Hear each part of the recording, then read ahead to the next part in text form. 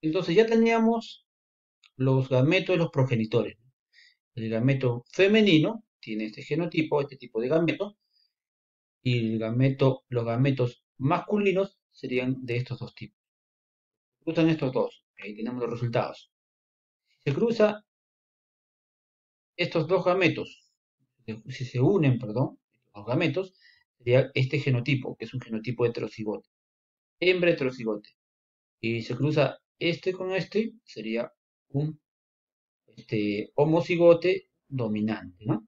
Sería gris este. El de aquí sería también un gris. A ver, tenemos aquí al machito. El machito, ¿qué gametos tiene? El machito tiene gametos. El machito, contra el machito. El machito tiene gametos R para el color gris el otro para el sexo. La hembrita, en este caso la hembrita, tiene gametos para el color gris y tiene gametos para el color para el color ébano. Ahí están los genotipos. Los genotipos que se formarían por la unión de los gametos, ¿no? Ok, hay cuatro genotipos. Aquí están los hembritas y acá están los machitos. Ya habíamos mencionado, ¿no? Que dice que se generan, ¿qué? Hembras, ojos gris, heterocigote. ¿Cuál faltaría? Faltaría de acá, ¿no? Sería homocigote dominante, color gris. Todo esto sería gris. Ya también está acá ya. También ojo gris. Serían dos genotipos que te darían ojo gris. De aquí sería, de aquí, perdón, sería un macho color de ojos gris. Y aquí el último sería un macho de ojos ébano. Entonces, en relación a la pregunta, ¿qué te dice? Ya, se cruzan estos dos en la segunda generación, dice, como este gris. Dice, la mosca de la drosofila el color gris es dominante sobre el éboli, señale la probabilidad de obtener mosca de color gris. ¿Cuál es la probabilidad de esto? Te dicen, ¿no? ¿Cuál es la probabilidad de este individuo, o sea, de, este genotipo? ¿Cuántos de estos hay? ¿Cuántos de estos individuos son heterocigotes? Genotipo heterocigote. A ver, de esto hay uno solamente, ¿no? De esto hay uno. Ya, uno sobre cuánto? La respuesta sería un cuarto genotipo heterocigote solamente hay uno de. La respuesta sería un cuarto. Entonces vamos a desarrollar la pregunta número 4. Dice, del cruce de una mujer portadora de hemofilia un varón. A ver, vamos a desarrollar una tablita. ¿Cómo sería la, cómo es la hemofilia? La hemofilia se va a transmitir, ¿no? Eh, por el cromosoma X, ¿no? el cromosoma X. En la hembra, en este caso, si sería hemofílica, sería así. HH minúscula. En cambio, si sería normal, sería así, HH mayúscula, y si sería normal portadora, sería así. El recesivo es el que, es el que transmite la enfermedad, cuando dos son recesivos. El macho solamente sería normal o hemofílico. Entonces, con respecto a esta tablita, que ya lo desarrollamos, vamos a poner los datos. De cruce de una mujer portadora. ¿Cómo es una mujer portadora? La mujer portadora es esta, de una mujer, por los progenitores, mujer portadora. Así, de la mujer portadora. Con este genotipo. ¿Se cruza con quién? Se cruza con un machito. Macho. Normal. El genotipo es normal. ¿Cómo sería un macho normal? Acá está, pues el macho normal es así. Y se cruzan, entonces vamos a cruzar. Este individuo va a formar estos gametos. Este individuo, esta, esta hembrita va a formar dos tipos de gametos. Para el normal y para la Y el machito formaría, formaría para, el normal y el otro cromosoma sería para el sexo. Vamos a hacer nuestra tabla de Punnett. Vamos a desarrollar los descendientes de la primera generación. Tabla de Punnett. Por aquí pongamos en la parte horizontal superior, vamos a poner los gametos masculinos. El gameto masculino sería cromosoma para el normal y el otro para el sexo. Las hembras en la parte vertical, vamos aquí, el gameto normal del X y el otro para la hemofilia. Desarrollamos nuestra tabla y tenemos otro resultado. ¿no? Tenemos ahí todos los resultados, todos los genotipos posibles. Vamos a ordenarlos. A ver, tenemos aquí, aquí están las, no aquí están las hembras y acá están los machos. La hembra, la primera hembra sería normal. La segunda hembra sería, serían portadoras. Cuanto al macho, el macho sería normal, acá está, normal. Y por último tenemos acá, machos, serían machos hemofílicos. Entonces aquí pongamos, corrijamos, aquí sería hemofílicos, ¿no? Son machos hemofílicos. vamos a corregir esto, esto sería hemofílicos. Machos normales y macho hemofílico. Ok, a ver.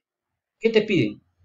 El cruce de una mujer portadora, portadora de la hemofilia con un varón normal se obtiene, se obtiene, ¿qué se obtiene? ¿Qué se obtiene? ¿Cuántos descendientes mujeres son? A ver, de las mujeres. De las mujeres. Acá de las mujeres. Aquí estamos observando que el 25% de las mujeres son, ¿son qué? El 25% de los descendientes son mujeres normales. El 25%, de, el 25 de los descendientes mujeres son normales. O también puede ser, ¿no? El 25% de los descendientes mujeres son, ¿son qué? Portadores. Cualquiera de las dos alternativas sería la correcta, ¿no? Dependiendo de cómo te viene la clave. Ok, ahora la última pregunta dice, en los, en los tigres el alelo recesivo causa el albinismo y el estrabismo. Recordemos que esta enfermedad se transmite por el alelo recesivo. Pongamos aquí sus genotipos y sus fenotipos. En el albinismo, cuando los dos alelos son recesivos, se transmite esta enfermedad, ¿no? Albinismo y estrabismo, en esta especie, en los tigres. El albinismo también se transmite en el humano, ¿no? No se olviden. Entonces tenemos aquí, los portadores serían así, y el normal sería ¿no? A ver. Si se aparean dos tigres fenotípicamente normales, o sea, tenemos aquí un tigre macho, se con una hembra, ¿cómo son? ¿Cómo son? Normales. Normales, pero ¿qué? Normales son fenotípicamente, se aparean dos tigres, fenotípicamente normales, pero heterocigotes. Ahí está, pues. Ahí está. Son portadores. Cuando hablan de heterocigotes, son portadores.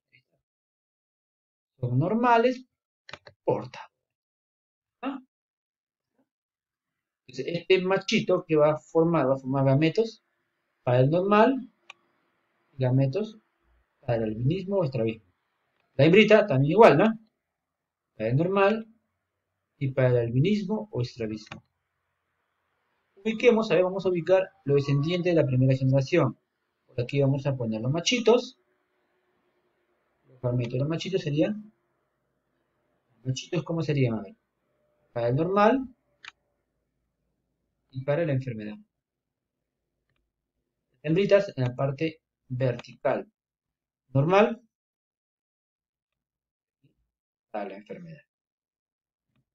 Nuestra tabla de Punnett se completa con los siguientes genotipos. Por aquí tenemos el primero, sería un, este, tigre normal. El segundo sería heterocigote, ¿no? O portador. De acá, otro portador.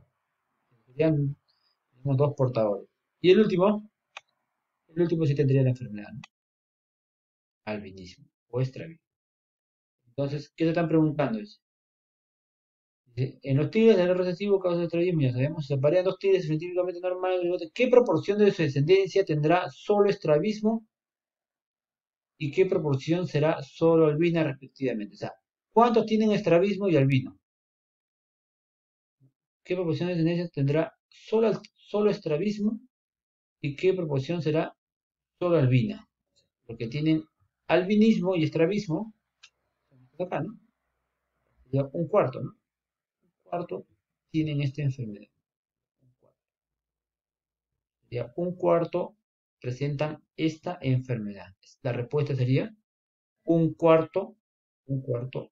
O sea, de, este, de estos individuos la mitad de un cuarto, ¿no? La mitad de un cuarto, un cuarto para cada uno, ¿no? Un cuarto, la mitad de un cuarto y la mitad de un cuarto. Esa es la probabilidad de cada uno, porque de total tienen esta enfermedad, pero cada uno se distribuye de la misma forma. Ok, jóvenes. De esta manera hemos desarrollado la práctica, práctica calificada que hemos este, dejado en clases anteriores, ¿no? Para poder dilucidar y para que puedan eh, disipar todas sus dudas, ¿no? Sobre las preguntas que ya ustedes lo han desarrollado. Muchas gracias, jóvenes. Eh, solamente despedirme y hacer hincapié en la entrega del, cuestionario. Voy a dejarle más preguntas de, esta práctica, del tema de, citogenética. Y, este, y su cuestionario, voy a hacer algunas preguntas del video y también este, la práctica, ¿no? Que me van, tienen que entregar el día de hoy de 4 a 7 de la noche. Muy bien, jóvenes. Nos vemos. Cuídense. Un abrazo.